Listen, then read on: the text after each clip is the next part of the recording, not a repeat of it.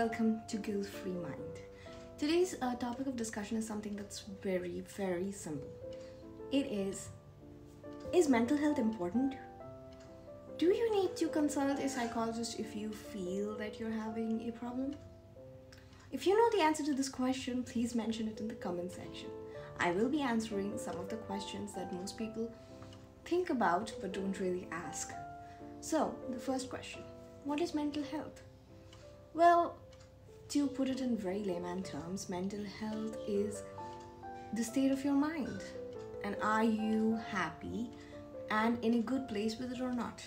If you don't feel happy, if you feel that you're stuck in life and your work is not going so well, you're feeling distracted, you're not able to concentrate, so then you'd say that you are facing stress, which is a mental health issue. Yes. And stress is something we all experience. One one point or the other, you will go through stress in your life. Even if you're a student watching this video, you ha- maybe you may have an exam coming up, and that may cause you stress. That may cause you anxiety. You may have a friend who is angry over you or not talking to you. You may have problems between you and your parents. You may feel that your parents don't understand you. These are real problems. The point that I am trying to put forth is that no problem that a person is facing is small or meaningless. Whether it is a child feeling that his or her parents don't understand them, it is a real problem, or if it is an adult facing problems in their relationships. None of these should ever be classified as, oh, that's a meaningless problem. I mean, I shouldn't bother myself with it. No, these are very real problems, and if you do not address them at the start, eventually they will become huge. Let's take an example. Suppose a person like me is facing challenges at work. My boss tells me that you have to complete this project and this stuff within like three days. And three days is not enough for me. But somehow I don't have the courage to tell my boss that you've given me so much of work and you're not giving me ample amount of time to complete it. The work I may present to you may not be satisfactory. I don't say that. Instead, I say, okay, boss, it'll be done. I sit down to work, three days pass by like this, and your work is not done. You are in a state of panic, you're stressed out, you don't know what to do and what to present. Wouldn't it have been better if you just spoke to your boss at the first instance when he gave you the project itself? And tell him that I'm sorry, but I understand that this is important. I can provide you part of it by three days. But it will not be possible for me to finish the whole thing in three days because it's just not enough time. I mean, if you start to say things, it becomes easier eventually. It may not be easy at the start. It takes a lot of courage to actually stand up to your boss, especially if you do not have a good rapport with your. So, this is just an example, an example of a stress we face in our daily lives. But there are many other kinds of stress which are present in our immediate environment. Like a stress could be anything, like a problem with your parents, a problem with your spouse, a problem with your friends. All of these contribute to stress, and none of these are small problems. If you are facing stress, go to a mental health professional. I mean, discussing with friends is one thing, but going to someone who will not judge you is something that is entirely different. Trust me, we all have skeletons in our closets. None of us are clean. We are all living in the gray matter of life, in the gray region. So, we all have problems we are dealing with. We may appear to be very happy, outgoing, living our life to the fullest, going on trips and stuff, but that does not mean that there is no problem or our life is a fairy tale. Nobody's life is a fairy tale, let me tell you that. Everybody has problems. Some of them are good at talking about it, some are not. Some like to discuss it with their friends, some are introvert and find it very hard to talk about their problems. This does not mean that the other person does not have a problem.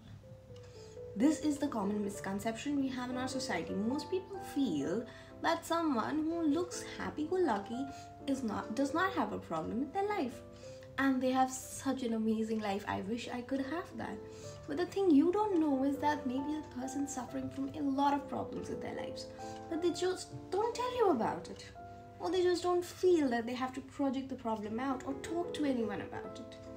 That does not mean that you should also not talk to someone about your problems. Look, if you are facing problems, if you're facing stress, if you are dealing with a loss, whether it's in relationship or you have you're going through stages of grief with the loss of a relative or a loved one, you need help. It's not wrong to ask about to ask for help. I mean the sooner you can get help, the better you'll start feeling and quicker as well.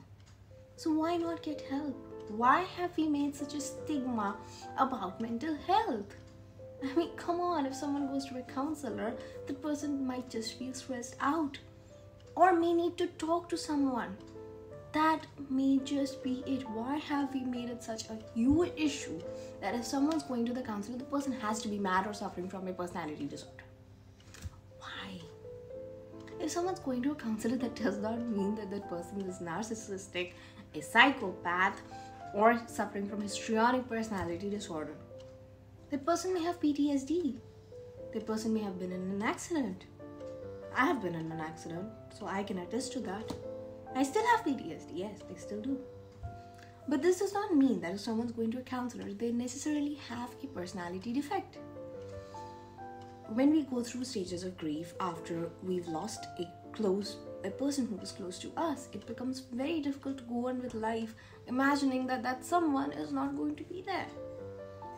You can go to a counselor and seek help. If you are suffering, if you are going through the stages of grief, if you are not able to cope with the grief, others may be able to. That does not necessarily mean that everybody in the family will be able to cope with grief in the same way. The problem here is that many times parents just shut their kids down. Oh, it's it's okay. You know you lost you you lost so and so person it's all right it's part of life. Just get over it you know. It's been two months how long are you going to cry? This is not the right approach. This is never the right approach. You have to understand what that person's going through. If you cannot put yourself in that person's situation and understand what your child or your friend is going through ask that person to get help from a counselor. Someone who can actually help that person pass through those stages of grief in a setting where the person is not judged. The person will go get through the grief and will be able to move on. But if you just try to put a lid on the problem and just shut it down, it's not going to help. And in future, the person may develop anxiety, depression, and other stress related disorders. Is that what you want? No, right? You don't want that. Then ask your friend or your family member to get grief counseling grief counseling is available if you are facing loss in relationships if you have faced a breakup which is really hard. I mean you thought you will spend your life with someone. That didn't happen.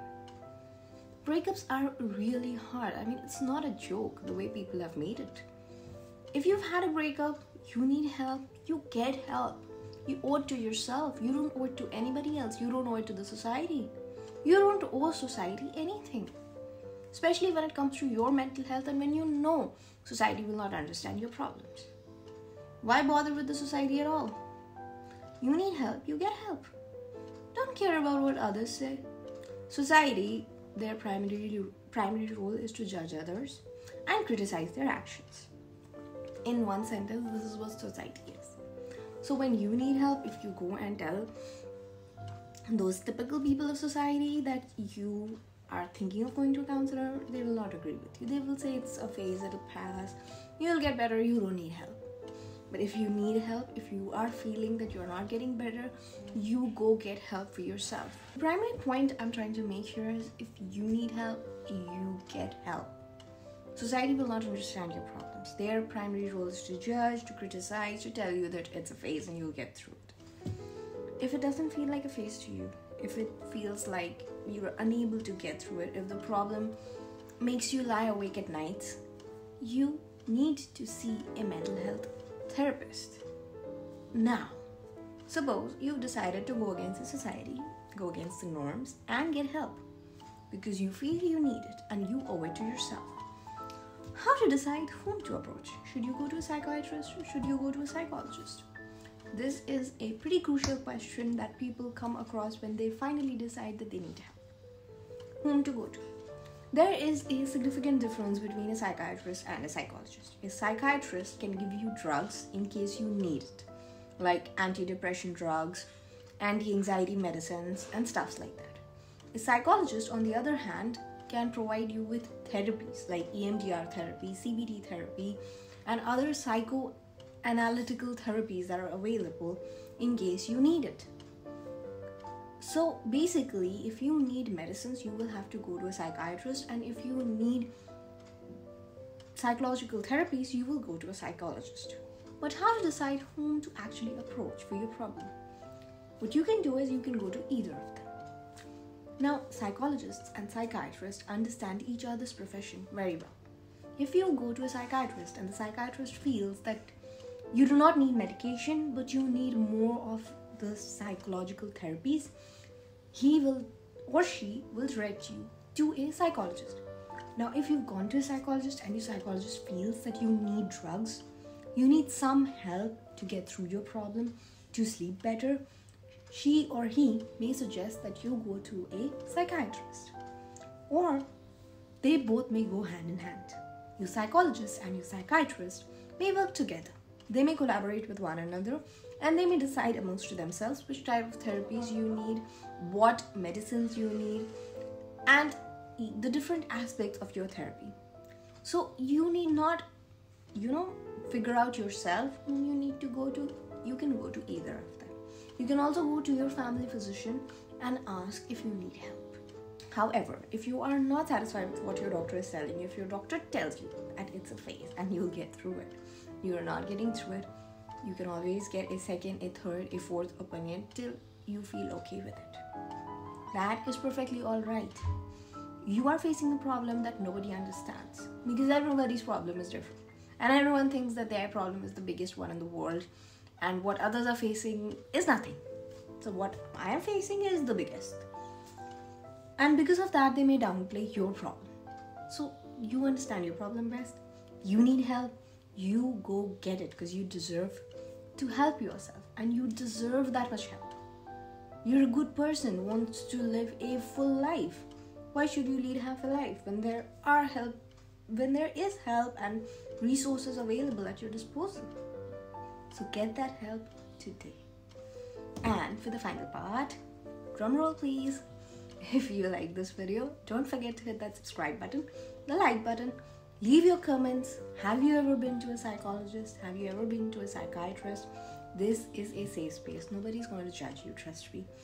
Or you can email me your problems. You can email me topics on which you want me to make videos on. I will do that. If you're facing anxiety, depression, stress, any kind of psychological issue, you can check out my blog. The link is in the description. You will find a variety of articles to help you through your problems. Or you can email me, email me, and I can send you the link to the articles. Either ways, take care of your mental health. You only have one life and you only get to live it once. So live it to the fullest and do not settle for anything less and I will see you in my next video. Again, don't forget to like, subscribe, hit the notification bell, stuff like that. And I will see you in my next video. Take care. Bye bye.